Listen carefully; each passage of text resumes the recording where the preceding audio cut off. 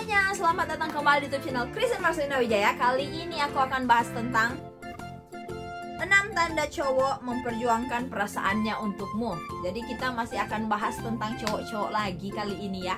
Semoga kalian jangan dulu bosan.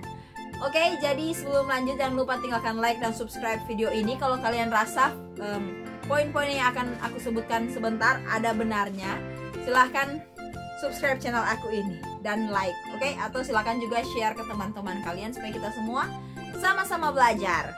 Oke? Okay? Sekarang aku ada contekan, selalu aku pakai contekan. Karena apa? Karena aku nggak mampu menghafal sebanyak ini, jadi aku pakai contekan. jadi ini dia 6 tanda cowok memperjuangkan perasaannya untukmu. Jadi yang namanya laki-laki, sekuat apa pun laki-laki itu, mereka kadang jadi kayak orang bego kalau diperhadapkan dengan yang namanya cinta. Apalagi jatuh cinta. Saat jatuh cinta cowok itu bisa bucin dan logikanya itu bisa jadi kayak orang bego beneran loh. Intinya dia hanya pengen membuat pacarnya itu bahagia itu aja. Dan cowok nggak masalah harus sebucin apa pun harus banyak berkorban sebagaimana banyak pun dia akan tetap melakukannya demi cewek yang dia cintai. Tapi di sini um, cowok itu harus memperjuangkan perasaannya. Karena apa? Karena nggak semua cowok itu um, paham tentang masalah perasaan. Artinya kalau ada cowok playboy mereka mungkin akan lebih gampang mengutarakan perasaannya. Tapi kalau bagi cowok yang belum pernah pacaran apalagi cowok yang introvert atau cowok yang pemalu mereka itu akan kesusahan untuk mengungkapkan perasaannya ke lawan jenis. Jadi di sini aku akan share um, cowok uh, enam tanda cowok memperjuangkan perasaannya untukmu. Jadi di sini artinya cowok itu memiliki perasaan untukmu hanya saja dia masih struggling bagaimana cara mengungkapkannya. Oke, aku harap video ini bisa bermanfaat ya. Oke, jadi poin yang pertama adalah dia terlihat canggung saat di dekatmu. Jadi ini ciri-ciri yang pertama ya umum banget kalau cowok itu suka sama kamu tapi dia masih bingung cara menyampaikannya gimana. Dia masih bingung cara mengutarakan perasaannya harus bagaimana. Jadi yang pertama dia akan terlihat canggung dan biasanya cowok yang terlihat canggung kayak gini artinya dia bukan tipe cowok yang playboy. Artinya dia adalah cowok baik-baik. Soalnya kalau cowok playboy dia akan kelihatan smooth banget saat dia ngungkapin perasaannya ke lawan jenis. Dan poin yang kedua adalah dia mendengarkan setiap ceritamu dan dia mengingat dengan baik. Jadi kalau um, ada cowok yang setia banget mendengarkan ceritamu dan dia selalu ingat setiap detail tentang kamu well kamu sebagai perempuan kamu harus peka ya karena itu artinya dia nggak hanya sekedar mendengarkan ceritamu aja tapi dia menyimpan perasaan untukmu hanya saja dia masih belum tahu cara mengungkapkannya bagaimana dan poin yang ketiga adalah dia selalu ada saat kamu butuh bantuan. Jadi sebenarnya cowok itu kalau dalam urusan mengungkapkan perasaan mereka itu agak kesulitan karena cowok bukan bukan tipe orang yang komunikatif seperti perempuan. Karena cowok itu lebih banyak um, berbicara melalui tindakan daripada kata-kata. Itulah sebabnya di sini poin yang ketiga ini dia selalu ada saat kamu butuh bantuan. Jadi kalau ada cowok yang entah teman cowok atau rekan kerja cowok yang memang selalu ada saat kamu butuh bantuan. Jadi kamu udah mulai bisa berpikir sedikit apakah dia memang beneran hanya teman atau hanya sebatas rekan kerja atau malah justru dia memiliki perasaan yang lebih dari itu.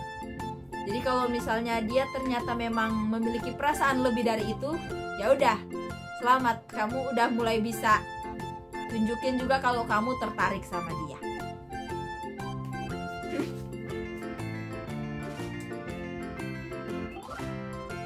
Sang cowok selalu memberikan waktunya yang berharga untukmu dikala dia ingin membuatmu kagum padanya. Masih berhubungan dengan poin yang ketiga tadi ya. Jadi dia selalu membantumu saat kamu butuh bantuan dan sebisa mungkin dia akan memberikan waktunya untuk membantumu dan dia pengen membuat kamu merasa kagum padanya.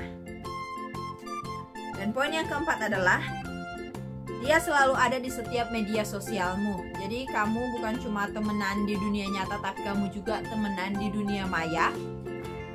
Dan biasanya kalau cowok yang memang memiliki perasaan untukmu mereka akan setia banget untuk selalu like postingan kamu bahkan komen di setiap postingan kamu. Atau mereka nggak pernah terlewatkan satu story pun satu story yang kalian share di Facebook atau Instagram atau di WA statusmu pokoknya nggak ada yang akan terlewatkan. Dia pasti akan selalu tahu segala sesuatu segala update tentang kamu. Jadi kalau udah kayak gini kamu udah harus makin peka ya. Karena bisa aja sebentar lagi cowok tersebut akan mengungkapkan perasaannya padamu. Tapi dia masih memikirkan cara yang bagus baiknya gimana ya kayak gitu. Dan poin yang kelima adalah teman-temannya sering godain kalian berdua. Teman-temannya memberikan kode-kode atau petunjuk kalau cowok ini menyukai atau memiliki perasaan padamu pernah gak tuh kamu dicie-ciein saat hangout bareng saat uh, hangout misalnya hangout rekan kerja semuanya hangout gitu atau saat kamu hangout dengan teman-teman sekelas saat kamu reunian kayak gitu terus ada yang cie cie ini nih dia naksir kamu nih. Ah masa sih kayak gitu. Kayak kalian bercanda-bercanda gitu tapi di satu sisi yang cowok ini memang beneran ada rasa sama kamu cuma dibawa santai aja lewat jokes-jokes kayak gitu dibawa bercanda. Tapi ketahuilah dari situ aja kalau cowok tersebut memang memiliki perasaan sama kamu dan dia nggak berani untuk langsung berhadapan berduaan dengan kamu intinya dia minta bantuan ke teman-teman lah supaya kamu bisa mengerti tentang perasaannya dan poin yang terakhir adalah poin yang keenam. Dia selalu mendukungmu. Dia ada di pihakmu. Oke, poin yang keenam ini sangat luar biasa ya. Jadi kalau misalnya ada cowok yang selalu mengucapkan congratulations, um, selamat atau happy birthday ataupun apa aja achievement yang kamu raih dalam um, karir atau dalam kehidupanmu, dia pasti nggak akan melewatkan momen-momen itu. Dan dia selalu menjadi orang yang um, memberikan dukungan di kala kamu butuh bantuan atau di saat kamu butuh solusi atas suatu permasalahan, dia akan selalu ada untukmu. Intinya dia nggak pernah kabur begitu aja. Tapi kalau ada cowok yang nggak pernah melewatkan um, hari ulang tahunmu intinya, kalaupun nggak bisa ketemuan dia pasti akan selalu bilang happy birthday tiap tahun. Nah bisa jadi cowok itu ada rasa sama kamu. Cuma mungkin dia masih belum menemukan cara yang tepat untuk menyampaikan perasaannya. Oke, okay, aku harap seperti itu dulu. Itu dia 6 ciri, 6 tanda cowok memperjuangkan perasaannya untukmu.